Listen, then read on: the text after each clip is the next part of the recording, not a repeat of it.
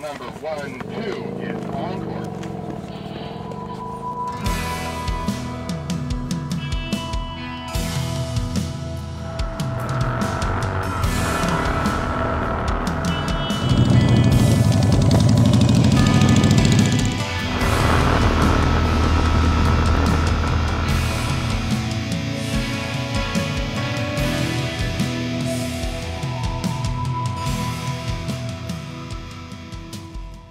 Definitely a zen moment through the mile, especially when you know you're flying and you hit all your shifts right.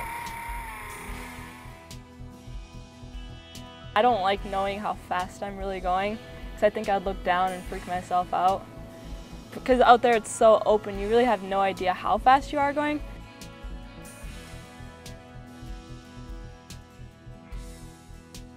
Butterflies, like your first kiss times 10.